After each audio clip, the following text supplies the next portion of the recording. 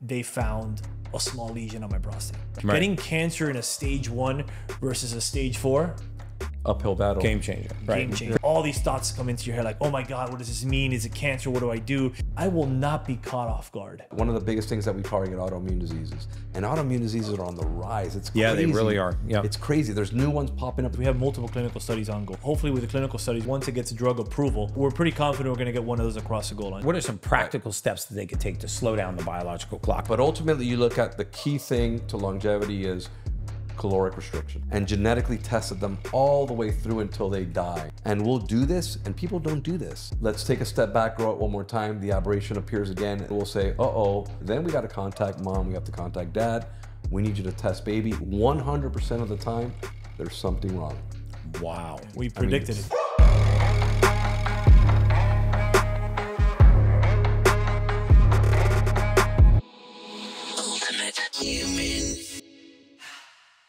Hey guys, welcome back to the Ultimate Human Podcast. I'm your host, Gary Brecka, human biologist, where we go down the road of everything anti aging, longevity, biohacking, and everything in between.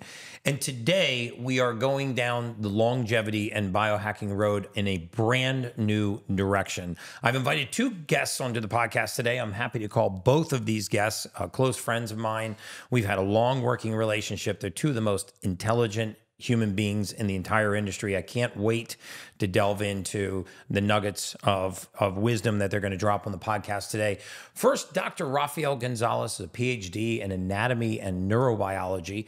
Um, he spent the last 20 years in the uh, sector of regenerative medicine and lately has had an intense focus on keeping a healthy immune system and slowing down the biological clock both inside and out. And I know all of you are interested in slowing down the biological clock. So stay tuned, maybe even take out a pen. And I've got Brian Pla, very good friend of mine. He is the president of JuveXO. They're a manufacturer of exosomes. And if you don't know what an exosome is, then stay tuned because you're going to want to know what exosomes are. You've probably heard of stem cells, but the next generation of treatments in the biologic world is exosomes. And they have so many uses that we're going to go down the road of what we're using them for and how they might benefit you on your anti-aging longevity journey. So welcome to the podcast, guys. Dr. Gonzalez, great to see Thank you, you very again. much, brother. Gary. It's great to Pleasure. see you too. Yeah. Another day at the office. Yeah, another day at the office. But Yeah. you know what's what's been amazing about this this journey, you know, I kind of go around the world and I find all these anti-aging, longevity, biohacking experts. Um, but Dr. Gonzalez, you have kind of a unique expertise in the world of, of biologics. So for those folks that are listening that don't don't know what biologics are, don't know the difference between a stem cell and an exosome, and certainly how these things might impact biological aging. Everybody's interested in healthy immune systems Yep. and and turning back the biological clock, as you say, both inside and out. So tell me a little bit about what what can people do to turn back the biological clock?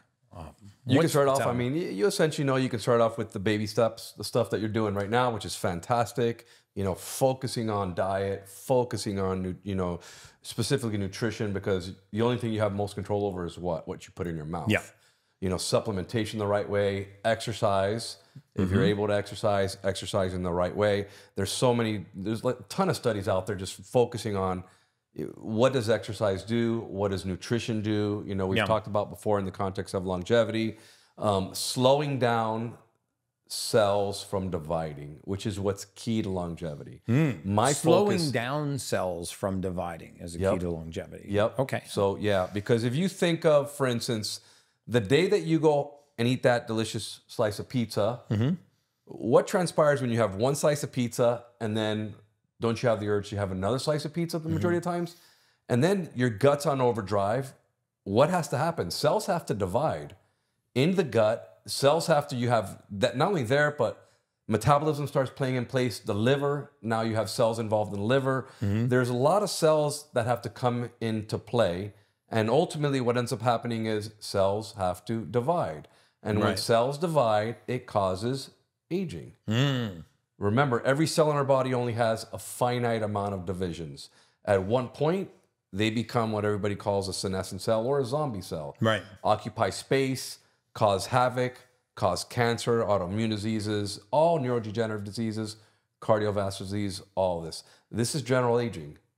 Right. And you slow down basically the cell division and you get to where So, so what are some practical ways? So, so you know, not eating pizza and junk food, fried foods, you know, high high glycemic carbohydrates, processed foods. I get that, but if you're listening to this podcast and you're like, how do I put a longevity plan in place for my nutrition or for my activities? Because I think there's so many options out there now. There, there's there's cold plunging and there's red light and there's oxygen and there's you know half the you know internet is telling you to do cardio, half the internet is telling you to do weight training. Some say only carnivore, some say only raw food vegan, some say only vegetarian, some say paleo keto. Um, what's your opinion on what an average person could do to slow down the biological clock? Like what are, what are some practical steps that they could take to slow down the biological clock? And then of course I want to get into some of the things that they have access to maybe that are cutting edge in the Yep. stem cell and exosome world. I mean, the, the- one of the first and easiest things is fasting. We all know this because what happens when you fast is basically you slow down cell division. The body just basically goes into a mode of wait a second, I need to stop, I need to slow down, and I need to conserve and preserve what I have right now. Hmm. So, what does that require? It basically requires number one, cells are not going to divide they're going to communicate with each other, which are exosomes, these bioactive molecules, and they're going to basically say, "Whoa, wait a second, we're going into preservation mode. We're going to stop division." And another thing you look at in the context of aging is basically IGF, insulin growth factor, mm-hmm. which is also everybody knows it as you know. For instance, you can raise IGF using growth hormone, but at the same time, that causes excess cell division. Mm. All the studies So you're kind of borrowing from your future correct to be- using- to, feel good now. growth hormones. So you get this short term benefit and you're just eventually the future is going to show up. Yes. Okay. And you can no longer borrow. You can no longer borrow. And at one point, you can no longer borrow, which is the key point of all of that. yeah. So, slowing down cell division is number one. Number two is maintaining the key of everything that is in our body. What is everything formed when you put a piece of food in your mouth? Anything, it doesn't matter what. Ultimately, it all goes down to glucose. It, you know, it's it's got to be formed consistently when you are basically breaking down food. Hmm. No matter how you do it, whether it's we talked about keto, whether it's vegetarian diet, whether it's a vegan diet, all of it ultimately forms one thing glucose. Maintaining that glucose level is the key to success. Hmm. Because when you have Maintaining a spike, it at the appropriate level. correct. Right. When you have that spike, what transpires? Metabolism kicks in, cell division kicks in, and you have issues. So overall, you're a fan of lower glycemic diets, lower sugar diets. Correct. Not, maybe not necessarily being all keto for the rest of your life, but lower glycemic diets, which you could accomplish with a vegetarian diet, a vegan diet, carnivore diet, obviously a keto diet, Diet. paleo diet. Yep. So, um, so you would be less of a fan of following a diet category than maybe a diet strategy of just being low glycemic. Am I right? You- You're 100% on. And and the other thing is no matter what at some point you have to challenge the system. So all the studies that you look at of individuals that are over 100 years of age, all of them have one thing in common. They've all basically did some form of caloric restriction. Hmm. Whether it be what we just discussed is basically it can be a keto diet, it can be a you know even a low carb diet as long as the carbs are correct. Uh, it can be a vegetarian diet, but ultimately you look at the key thing to longevity is caloric restriction. Okay, because you know we, we did. Um, I had about fifty thousand people that joined me for a three day water fast last month. You were actually a guest on the water fast, and we started talking about what happens in the body when uh, you you actually do a three day water fast. When you actually deprive the body of food, and people are like, I can't not eat for three days. And what was astounding was the vast majority of people, more than 90% of those 50,000 people, made it all the way through the three day water fast. And I tried to describe some of what was happening in the body. And we talked about cellular senescence, these zombie cells. And is it appropriate to kind of say that the body eats itself from the weakest part forward? Is, is that a good analogy? Or, or how would you describe what happens when we go into a prolonged fast. And by prolonged fast, I'll just say three day water fast, for example. Number one, for instance, is you, if you think of the cells, every cell in your body has some form of waste somewhere along the line. Mm-hmm. that waste will be consumed as energy. So Wow. that's a form of autophagy. So it's basically cleansing the system, cleaning the system of what's transpiring. If you look at studies, there's actually documented studies out there that actually show that you can have cancer basically go on a fast. And if you think about it, it makes sense. What does cancer feed on? It feeds on sugar. Hmm. It feeds on bad nutrition. It's the number one consumer of your nutrition when you have cancer. If you think of halt the eating, what is it going to do? You're going to starve that cancer. Hmm. You're going to slow down that progression. Because it's a shift in cellular metabolism, right? It's a healthy metabolic cell becoming a sick metabolic cell. And I know that there's evidence that sick metabolic cells can actually go back to being healthy metabolic cells, where we can even get rid of these sick metabolic cells. But what's making the decision? Like, is it the immune system that's going into the body and saying, okay, well, we don't have any food. Um, so we don't have an external fuel source. So we got to turn internally and we got to figure out what we're going to eat. Um, and we got to eat ourselves. So who's making that decision? Is it the immune system?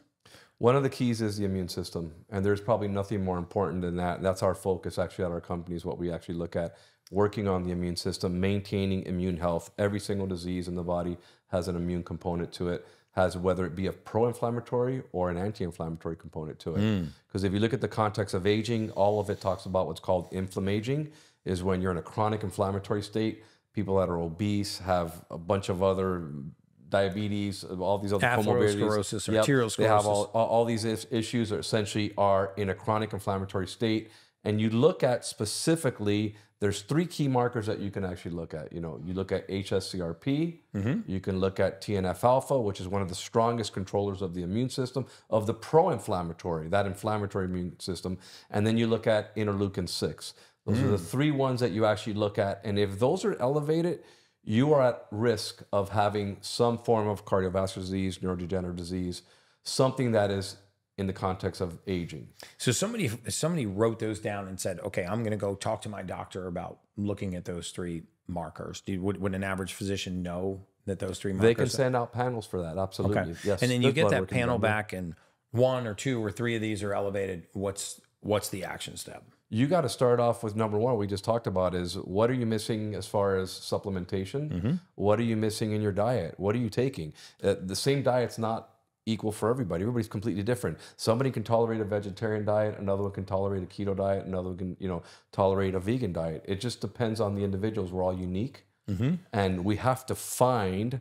That's why a lot of the testing that you do will help find Yeah. those part. You know that what is ideal for that individual to slow down that basically chronic inflammatory state and keep the immune system in check. Okay. Because if you don't keep the immune system in check, guess what? We're not talking about if you have a pro-inflammatory response, you're going to age, you're going to cause all these issues, which is called inflammaging. But guess what? If you don't have that appropriate pro-inflammatory response, what happens?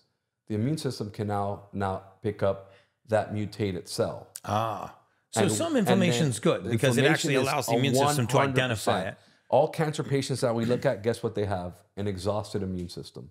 Really? Yep, they have an exhausted immune system and they have a really high profile of something called interleukin 10, which is an anti inflammatory cytokine that helps keep it like, I need to heal, I need to heal, I need to heal, I need to heal. But guess what? There's no attack.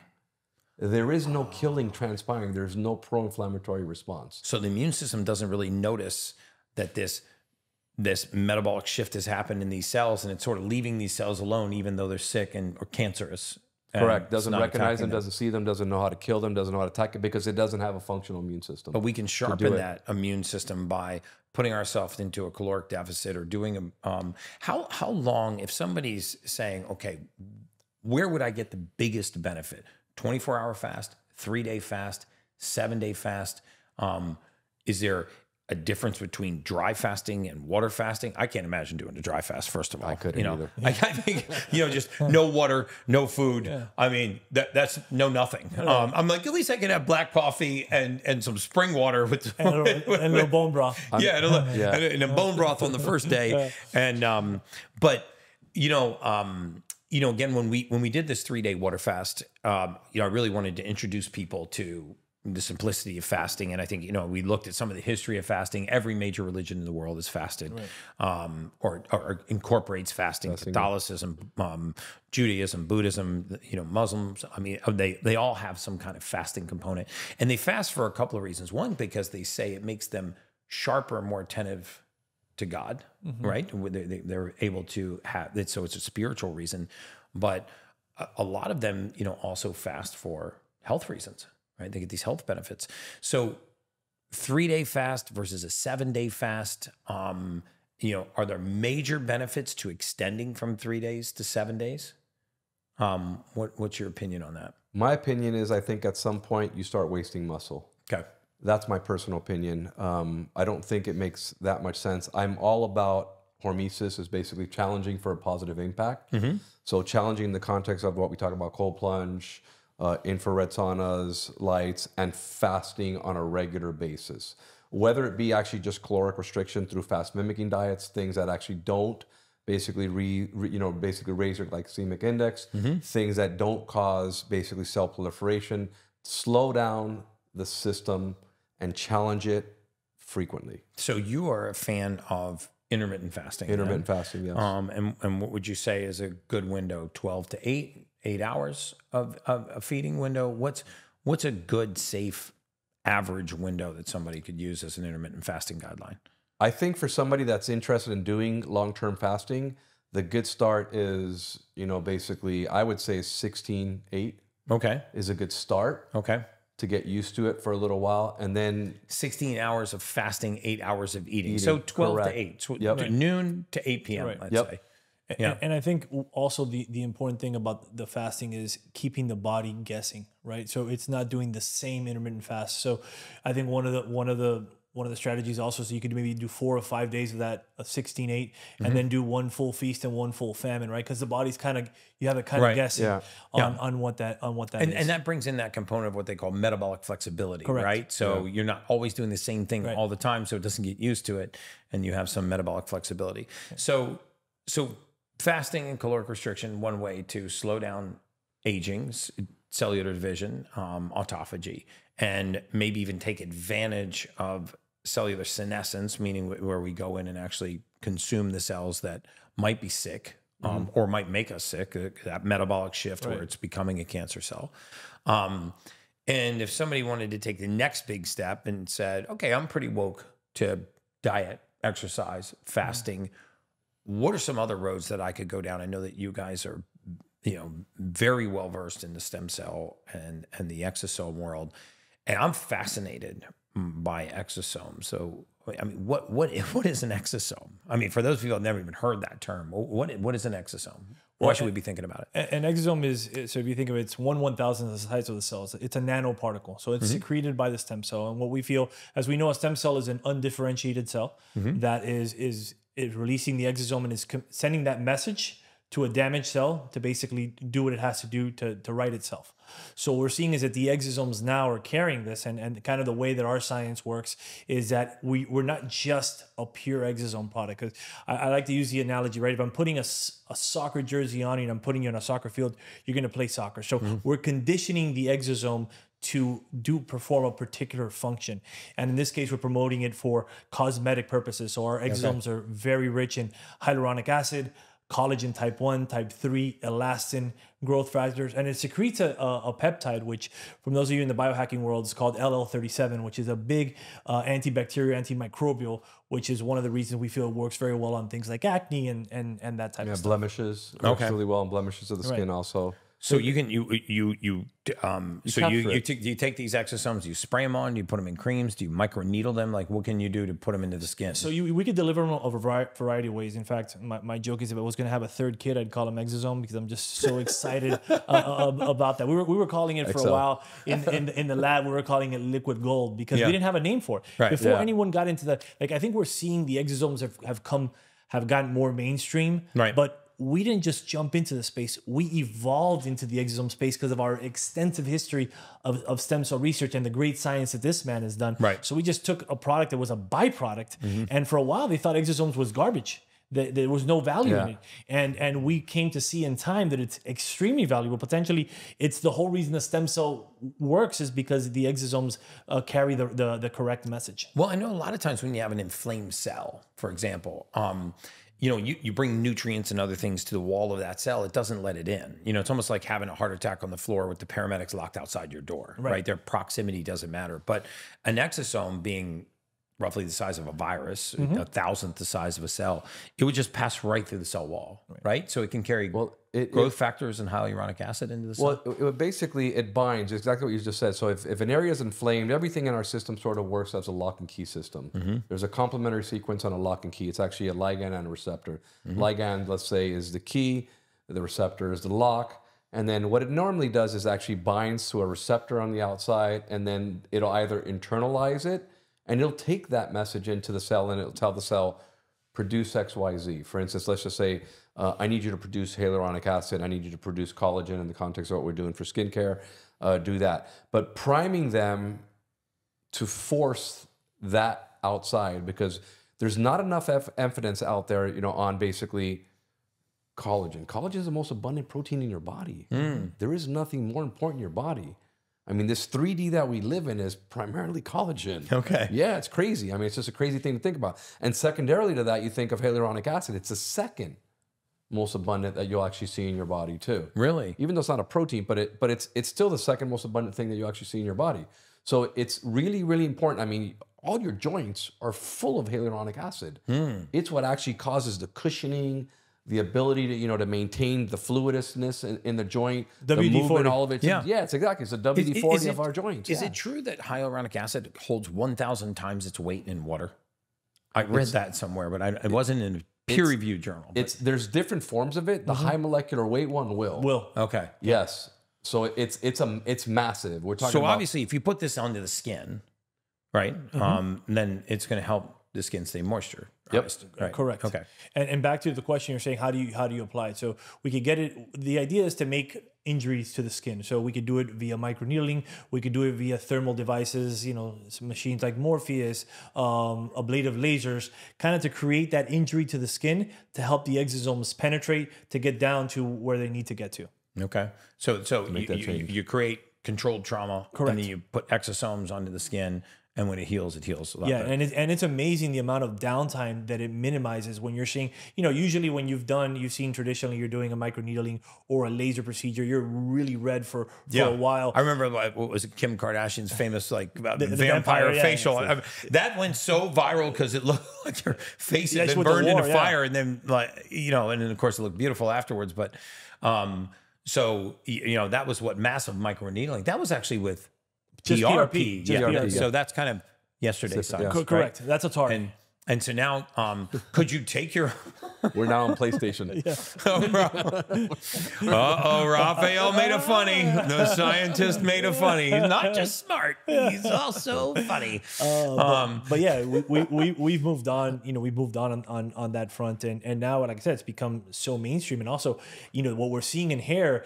And, you know, I know for, for many years you would see that commercial. You're like, I'm not only the hair club president, I'm also a member. Right. I mean, I've, I've actually, and there's nothing that I won't try myself. And so we came out, you know, he came out with a new, a new version with uh, recombinant hair proteins.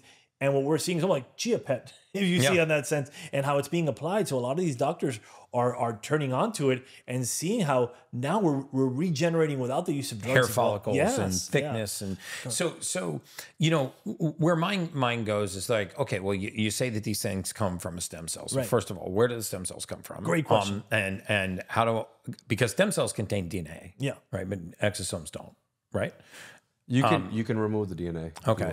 Um, so, you know, my first question is where do they come from? Are, are they safe? Uh, you know, if they came from another human being, how do I know I'm not getting what they had? Right. Um, and are they legal? I mean, are they FDA controlled? Are they, are they done in For sterile cosme- laboratories? So, Cosmetic, so walk me through the cosmetic process. use. So cosmetic use. Anything if you use for topical use, uh, it's just a cosmetic use, and Mm-hmm. and and that's about it. It's just used topically, um, sprayed on. But but where do they But But come talk, on. from? talk about the But, like, source, the stem cells, and Well, how yeah, important it- it it- is. how do we get an exosome?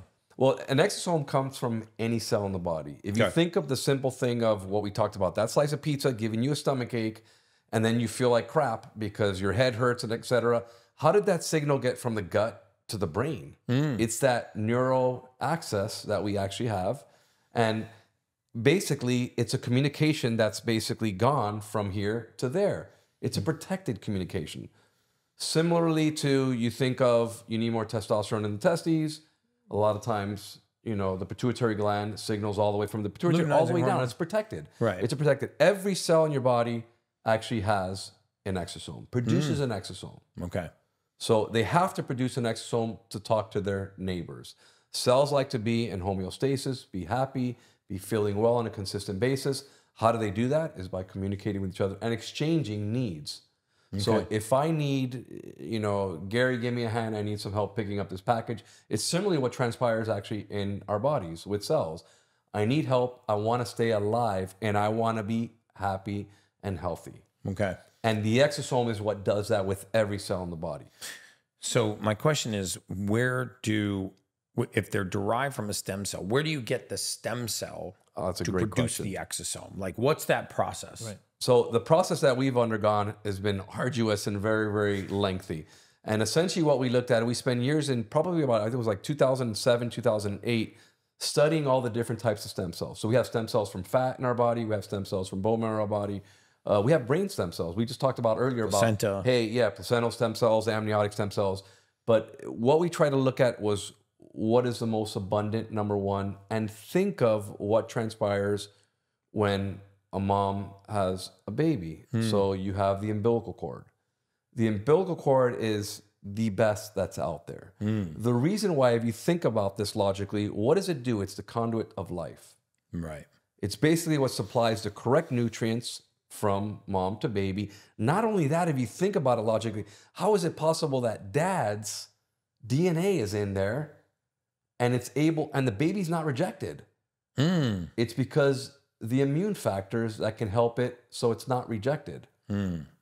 So it basically suppresses an immune response that transpires. So the baby's getting nutrients from mom that also contains dad's DNA. Wow. So this conduit of life is full of essentially life.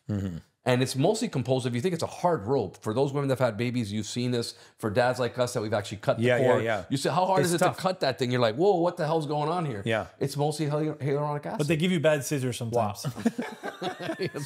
So you so so you harvest the placenta, right? we harvest you- the cord. The, Oh, the, the cord. cord. We don't use the placenta because the the, placenta is a filter. Okay. So we avoid the placenta because it's a filter. It Okay. filters out anything that's bad. That's why we avoid that. Okay. The amniotic fluid and the amnion. Amniotic is basically the amnion itself is mostly epithelial cells. It's also somewhat of a barrier and filter. Hmm. And then the amniotic fluid contains mostly, if you think about what it's supposed to contain, it's a bunch of antibodies, Right. is what it mostly contains. Wow. So it helps with all the cushioning. The cord itself is the conduit basically of life and all the nutrients, most majority of all the nutrients. We harvest the cord itself, and our technology, we spend years developing this technology. We actually have clinical studies actually here in the United States, and we license this, te- this technology to an outside entity in Mexico that does some of these therapies too. And we just take a section of cord this big, and it's all about the diet.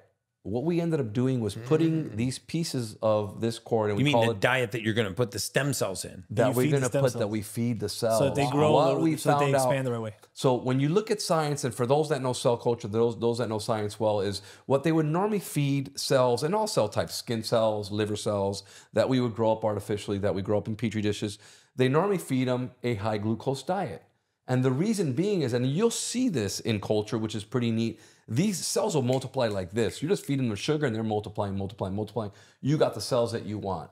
But what we did was looked at various different formulations of how do we slow down the aging process of the cells. And what we looked at is mm. looking at telomeres in the cells. Mm.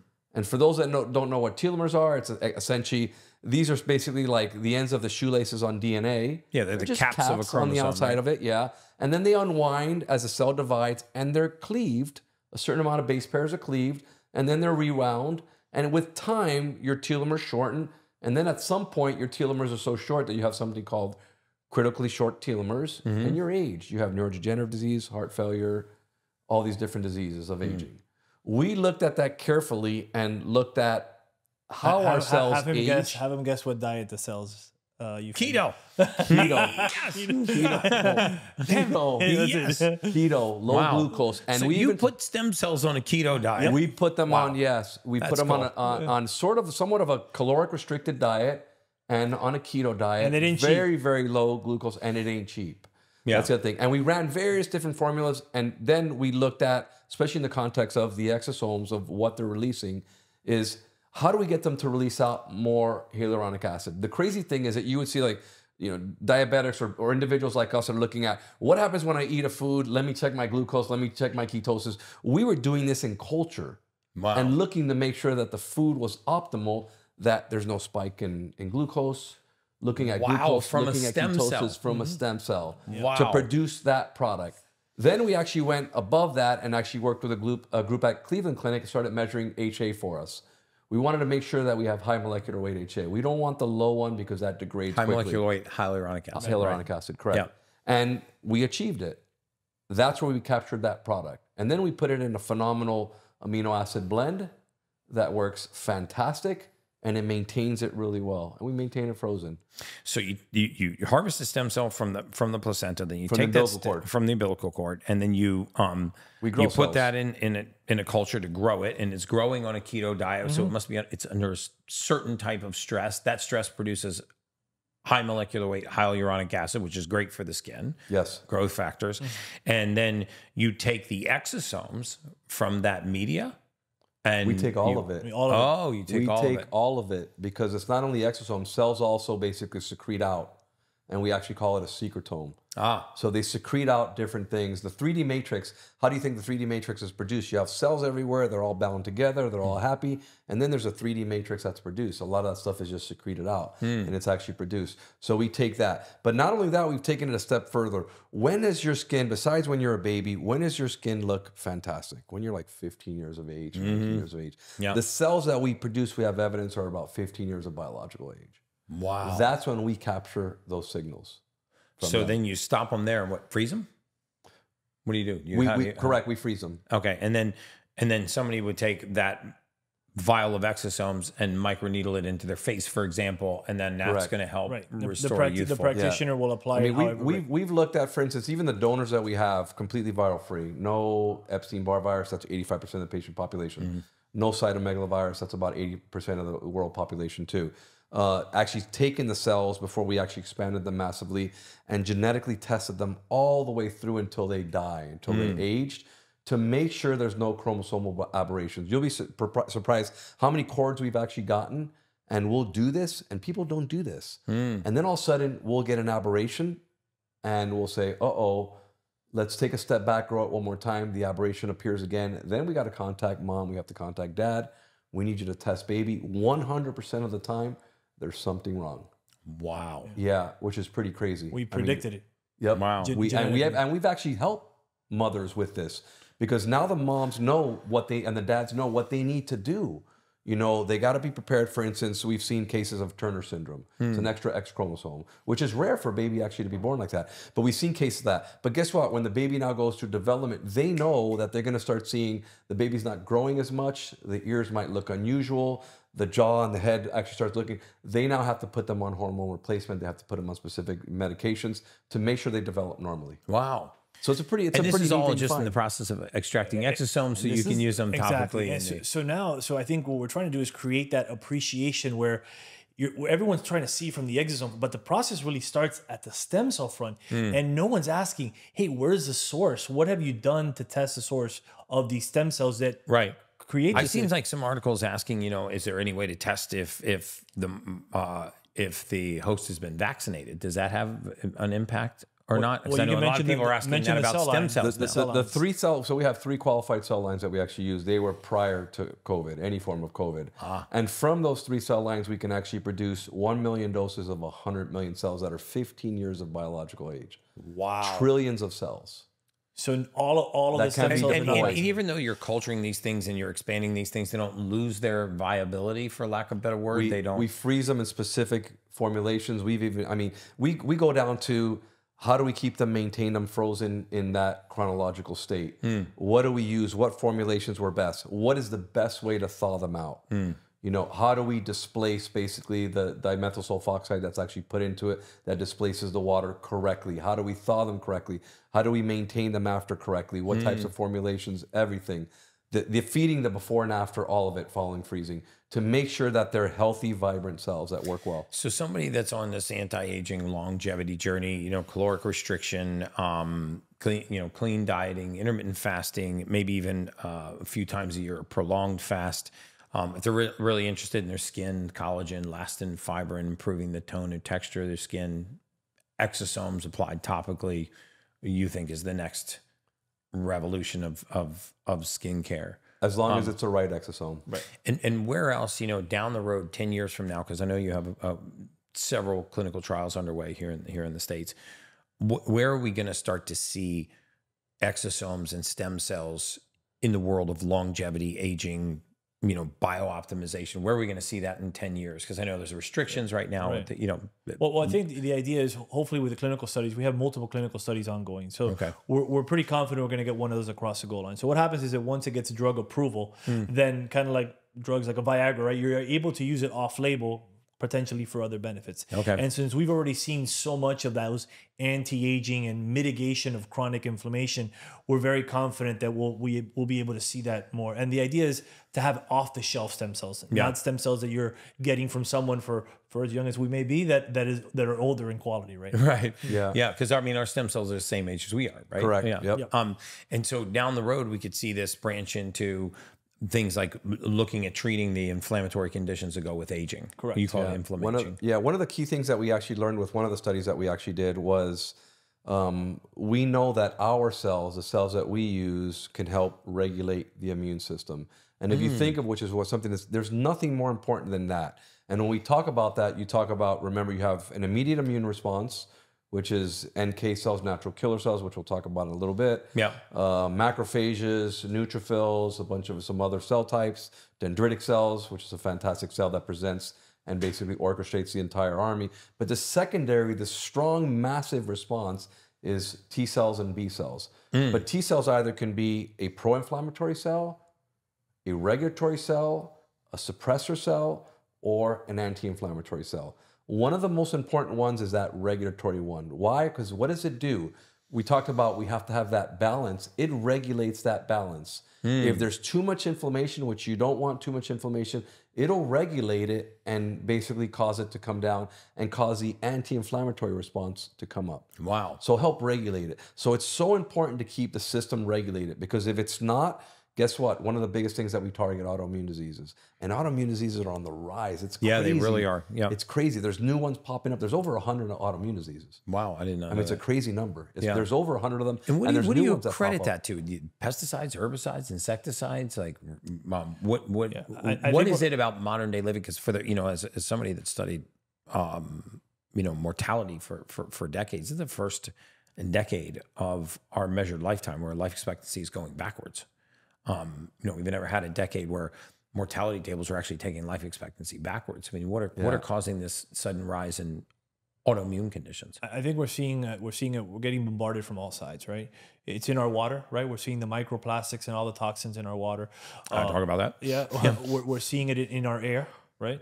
We're seeing it in our food source significantly. I mean, look at what a good job you do at kind of re- relaying the message that we're even organic. I mean, what is really organic? How can Mm-hmm. you really vet? The, like, we could do more vetting on our stem cells than you can on your organic food. Yeah. you know, to, to to that level, right? But no one's really testing that stuff. So if we're being bombarded, we can only do the best job possible. But it's it's mitigating all of those environmental factors, um, and we feel that ultimately, I think you touched on it earlier, which is the diagnostic testing, right? So we have to go back to what is the source. Some people may, may be more sensitive to particular toxins than, than others, right? Right. Uh, so if you run heavy metal toxin panels, you you're testing for microplastics, you're testing for um, you know molds. And you get a, a, a very wide panorama of what's going on with a patient. You're trying to identify two things: what are their deficiencies and what are their goals. And you're not going to be able to fix either if you're not removing the source. Mm. So we have to get to the source first because the best stem cell, the best exosome, the best keto diet will will only do so much if the ground is polluted. Mm. Right. And if you think of our computer, I always love to give this analogy, right? Where our our our computer over time starts to slow down. right? Because what happens? We keep putting more and more and more crap into it, Right. right? So it starts accumulating. The cache starts to build up. So sometimes you take it in, and just by clearing cache, removing the source of the clogging is sufficient for that computer to speed up. So it goes back could- to that goes back to the fasting thing. Yeah. So what are some other um, things that we can do to improve the immune system and slow down the biological clock? Oh, s- one key thing is you talk about it every morning: sunlight, Wow. vitamin D. I mean, that's like one of the Nice to have a PhD back me up on sunlight. But there's you know? there's nothing. But there's First really light. nothing in, Yeah. more important than that. Because go, I mean, going even going back to that, the question is viruses. Mm-hmm. We've now been challenged with another virus. We're now going to be challenged soon, probably with another virus that's coming on horizon, Mm-hmm. and the immune system gets tapped. Hmm. You have to, you know, diet supplementation is important. People are like, "Oh, well, wait a second. There's I, I don't know how many people. You've probably seen a ton of people. I spend all day in the sunlight, and then you go test them. They're vitamin deficient yeah. They're vitamin D deficient. Right. It's because you're not absorbing. Your gut's not working correctly.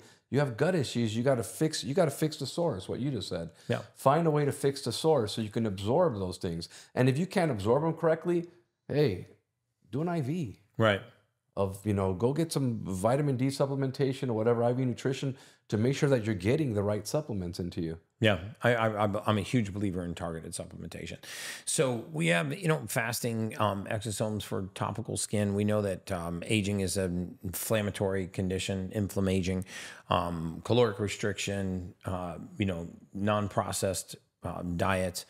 But now this world of biologics, stem cells, and exosome, which I think has advanced more outside of the U.S. right than it has in the U.S. Is that- 100%. Is, is that just be the, the regulatory framework? regulatory is- environment here Okay. in the United States makes it difficult to do to do work here. And uh, many countries out there are allowing stem cells. They're regulated in other countries. Mm-hmm. You know, we actually gave our license to a, a, a place in Mexico, in Cancun, one soon to be in Cabo, that actually works with the, the cells that we actually use. Mm-hmm. And people think, you know, first of all, where do you go on vacation? People talk about I'm going on vacation to Cancun. Mm-hmm. I mean, it's you know. Then some people say, "Well, wait a second, it's not safe." No, Detroit is not safe, and many places or many places. that- I mean, Portland, I'm Oregon nothing- is not very safe right now. There's a lot of places that are not really safe. You know, in Yeah. the United States, they're not really talking about these type of things. Yeah. But people go consistently. There's millions and millions of tourists that go hang out at the beach, and it's really not third world there. And I know for fact, and I mean, I've taken so many people, and we've gone down there Mm-hmm. to look at facilities, and they'll be like, "Wow, these are state of the art facilities." Uh, we got one of the original guys that has started working some of the first MRIs. He went down there and he was like, "Oh, why do these guys have, you know, two million dollar piece of equipment here in this complete hospital?" Brand- change of brand new- perspective. They see Yeah, machines complete they don't see in the U.S. and it really changes that that that dynamic. I know medical tourism is big. Um, It's- it's- down there. Yeah. Yeah. And, and the vast majority of the doctors over there are American trained. They've done some form of, you know, postdoctoral training, some form of, you know, official training in the United States, speak perfect English. They know everything. They actually collaborate with American doctors on a consistent basis. So it's not like you're going to, you know, people think, oh, it's third world. Why would I go there for medical tourism? Because guess what? A lot of stuff is We actually see a lot of of the these stem art. cell clinics, Cancun, Colombia, Panama. I mean, they're they're in in other countries, but pretty renowned people go down there and get these these these treatments. I mean, so if if we were to peek behind the curtain a little bit and say, what is what is some of the most promising prolific research that you're doing that you think will be on the horizon? I mean, whether it's on improving the immune system, whether it's on stem cells, you either have to get it done outside the country or maybe it's going to be available here in the States in five years or 10 years. Like, what's some of the most promising? Like, what makes, what blows your mind and gives you that Perry Mason moment? Like, ta da, this is freaking awesome. We just aged ourselves with a Perry Mason reference. Yeah, yeah. you- Oh, you did? You, you, you did. It- we, we published a paper in end of 2022 of something that we spent eight years studying, and it's senescence, the zombie cells. Mm-hmm. And if anybody looks up natural killer cells, you'll type these things are. These are the first responder to a virus, to a mutated cell, and then to a senescent cell. This zombie mutated cell, which is a potential cancer cell. cancer cell, Okay, so the correct. It's- first responders and NK it cells. is this. Unfortunately, as you age, these things also age, and they're no longer natural killers. They're dormant office workers, government workers, whatever you want to call them. I don't know. but they're not they're not doing what they need to do. Hmm. They're not Washed up police killers. officer, no gun. Whatever, yeah, correct. do anything. Yeah, it's, Okay. it's, So these guys, these are the Navy SEAls of the white blood cells. Yeah. Okay. These are the guys that come in, attack, target, kill. And we actually took the line of everybody looks at cancer in the context of natural killer cells. Hmm. We looked at senescence and natural killer cells. We were the first to look at senescence and natural killer cells. Hmm. We published a paper last year. We actually got a patent on it about a year and a half ago. I read that on this too. And what we showed is we can remove senescence in the immune system. But if people think about this, Wow. Meaning the zombie cells of the immune system. Yep. Yep. And you do that by turning the immune system safely on itself? Like what removes those cells? the natural killer cell. We take natural killer cells from you. We will actually grow them up, activate them, then put them back into you, hmm. and they will remove senescence. Hmm. They will target and kill senescence. We can lower that senescence. But then people think, so what? You lower the senescence, what happens? Well, guess what? You now have the right signals because you only have a certain amount of cells in your body. The signals in the bone marrow now are saying, I need to release fresh, healthy cells in there. Senescence is uh, consistently happening Yeah, in because our when body. you, when you remove cells, you know, remove red blood cells from the bloodstream, the Correct. bone marrow replaces those red blood cells. So you're saying that if I remove senescent immune cells, like dysfunctional, sick, old, tired, non-functioning immune cells, I'm going to replace them with healthy, functioning immune cells, sort of rewind gonna- the immune Two, system. two to three billion. three I mean, See, now that's I mean, if you if you think of every day, every single day, we lose over 300 billion cells. Hmm. That's a crazy number. Hmm. That is. every single day. It's mostly red blood cells, but it's still it's a lot of cells, and your system just turns them over and produces new ones. right. This is going to be similar to you remove that, and now the system has to regenerate. And ultimately, this actually started off with in 2010. There was a publication that came out that they essentially took a senescent mouse model, and they took that senescent mouse model that couldn't walk the maze, had no hair, had no muscle. Then they took a healthy one, and they basically So basically was that just an old mouse? and it- it's It- actually it's a, it's a model, it's a knockout model that Oh. basically has a, a, a gene missing that causes it to be senesced. Ah, okay. Then they actually took a healthy version, connected it to it, and then they I noticed. I read something about this. Yeah. Yes, so it's I a- remember reading this it's, study. it's it's an experiment that they connected to it, and what this mouse that was unhealthy grew hair, grew muscle, was able to walk the maze after. Right. Basically, got younger. When they went back and looked at what had transpired with the organs and everything, is the senescence was gone, Wow. and the mouse so what happened? The healthy mouth is the mouse that was healthy, its its immune system went in and fixed the sick mouse. Is that essentially what happened? Wow. Yeah. Is that why Bryan Johnson is putting his son's blood into his body? Did you hear about That's, that? that's that's plasma. Yeah, Yeah. he's using the plasma Yeah. proteins. Yeah, there's evidence that actually plasma works well too. Okay. Yeah. So, I wanted to ask you a question. Obviously, if I would have told you, Wait, this look- is my podcast, dude. I'll, I- I'll ask I- the questions. okay, well, well, but if I would have told you you had the weight, look at how much good you've done, how many people you've gotten your message. Oh, uh, stop it. No, no, no. But listen, what I'm getting is that imagine if I told you you had to wait eight years, 10 years to see the results of that. You would have said, Yeah. no way, I'm not getting into this. Right. So that's what happens with a traditional drug route. Mm. So if we have to wait that amount of time to get some of these things across the goal line, Mm. then you know we're in this. We're passionate. We want to help people just like you. And so being able to have these license these technologies outside the U.S. that could get these treatments to people, Okay. we're changing lives every day. So those are the kind of things that are available outside the country. You can go to Cancun, Yeah. rewind your immune system. You can get some of the some of these biologic treatments. I mean, I I, I think it's just fascinating because what's what's interesting about all of this science is that we're actually just finding ways to enhance the body's ability to do what it does best Unbel- exactly which right. which is a really interesting thing that continues to strike me being in this industry and in this business is that a lot of the science seems to be coming full circle and we're not like looking at chemicals and synthetics and pharmaceuticals we're actually looking at how do we better tap into the body's resources to heal itself totally. right you know so platelet rich plasma prp most people have heard of you know putting it Peptides. in knees and hips and shoulders and joints to kind of accelerate um, healing now you're well. talking about taking exosomes from stem cells putting them back into the skin to regenerate the skin maybe even using our own stem cells what about all those people that have um, all those you know moms that froze their cord when they when they gave birth five, ten years ago when they started freezing the cord. Is there a possibility they can unfreeze those and, and get stem cells from those? I mean, there are the promising treatments with those kinds of things. I have people ask me all the time. I mean, The, well, I mean, the context I think it's fear based. Like, yeah. I should, I should, I, Well, I, am having a baby. I should freeze the cord. Um, But let me tell you, it's smart. It is. because it is smart. And the reason why it's smart is because you never know. Your baby can born with a blood deficiency, a cancer, Mm-hmm. or it can happen within six months, a year, whatever it may be, due to who knows, you know, you don't know. A genetics that was that's gone bad. And it can happen. And it gives you, it affords you the opportunity to have something there that's naive, that God forbid your child has to basically, you know, get chemotherapy, get Mm-hmm. radiation. We can now rebuild that blood system to make it healthy. so again. you're a fan of mothers if they can. Um, But there is a caveat. freezing, It- it- but there's there's a, there's correct. yeah, there's a caveat. There's a caveat to it because it only works up until a certain amount of weight. There's a formula to reconstitute the blood system. So hmm. once a child hits about five years of age, hmm.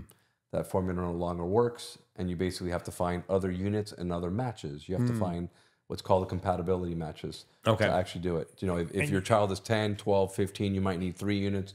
You might need four units. You have to dig outside to find matches. I got you. Yeah, and you also cannot ask your wherever it's being held, hey, could you just send me back the cells and I'll take care of it.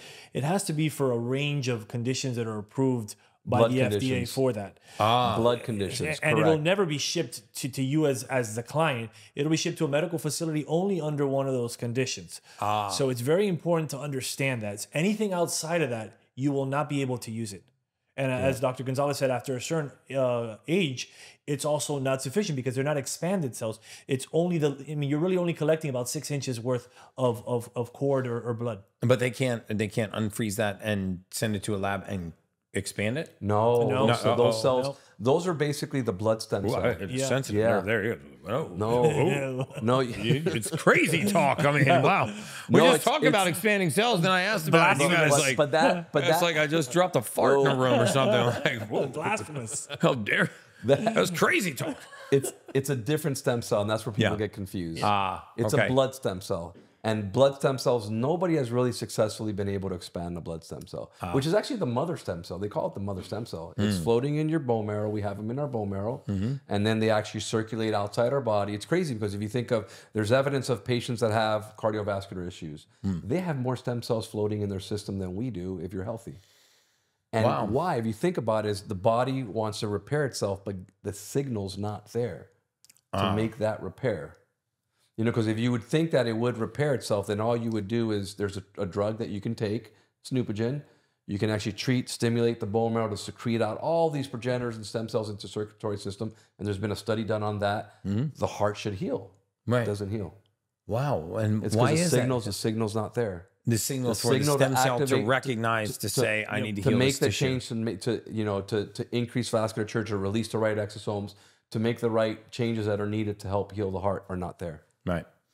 So then it, you know, somebody that's on this anti-aging, this longevity journey, you know, they're really um there's a lot of topical skin kind of options available for them, but if they really want to look at improving the immune system or exploring stem cell therapies, they really got to go outside the US. I would suggest it. it. Okay. That's what because even they gotta stem do. cells from yourself what the second you try to use it systemically Mm-hmm. it's it's also considered a drug anyways I see. so you would not be able to apply it that way Because they can they can get stem cells from your fat, right? They can get stem Fat. cells from your bone marrow. They do bone there- marrow there's- aspiration. It's a small amount though. yeah Right. It's, it's but as for the fda guideline it's it, it- the, the cells there's three real w- um, kind of conditions that you could use so it has to be homologous which is same type of use that the cells were doing before they got pulled out and from Okay. you. it has to be autologous from yourself Right. and then minimal manipulation you cannot manipulate the cell in any way shape or form and those if those three caveats are met you could apply it that's why So you if I could go, got if I've got a bad knee, can I take stem cells Yes. from my hip and put them in my Correct. knee? Your knee, And is there any benefit to doing that? there, there's definitely. I definitely mean, it's a trick question. I know There's- that there is. But no, I'm there- asking there for is- the audience. There, there is benefit, but you have to think of it as once again they use that key term stem cell, they use that key term exosome.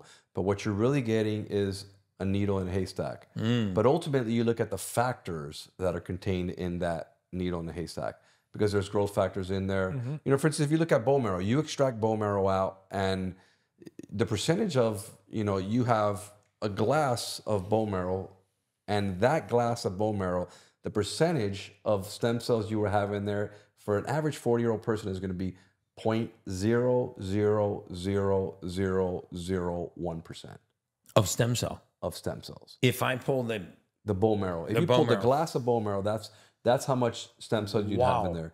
It's like what we. I so mean, then what is the benefit of tapping my bone marrow and doing bone marrow aspiration, that putting it into my there's, joint? there's other cells there. So you have immune cells there. You have naive immune cells there. You have an endothelial cell. That's actually the cell that lines the vasculature. Mm-hmm. And all those have proliferative effects. They have healing effects that can actually work too. Okay. Even though there may not be that many stem cells, but there's factors in there that can help heal. Okay, beautiful.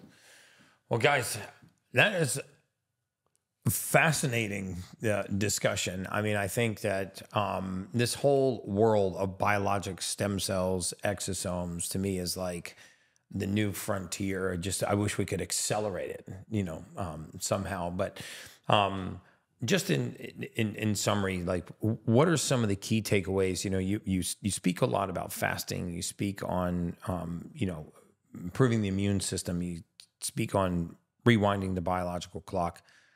What are the big takeaways that you want people to know if they're interested in longevity, quote unquote, anti aging, biooptimization?